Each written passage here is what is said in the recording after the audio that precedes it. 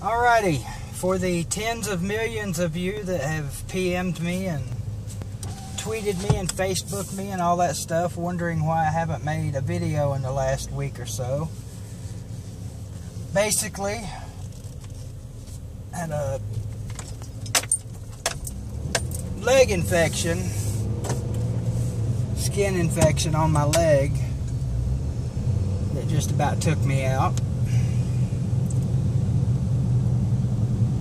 And for the three of you that really wanted to know what happened, there you go.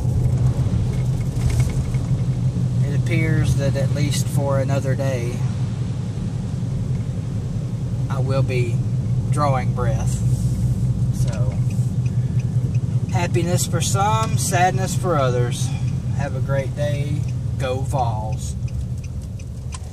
Yes, I'm happy with the Cardinals drafts draft picks this year with the exception of Logan Thomas. What the hell were you guys thinking when you drafted that guy? Maybe you know something that everybody else doesn't. We'll see. Cardinals need to sweep oh shit, Cardinals. Vols need to sweep Florida this weekend in baseball. And I need something else to happen. Georgia and Florida, or Georgia and Kentucky are the two teams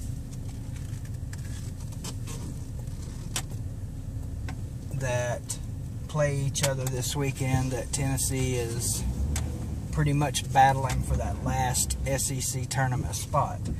Kentucky's one game up on us. Georgia's one game down on us, but they have the tiebreaker with us, whereas we have the tiebreaker with Kentucky. So who knows? We'll just let the shit play out and see what happens. Go Vols. See y'all later.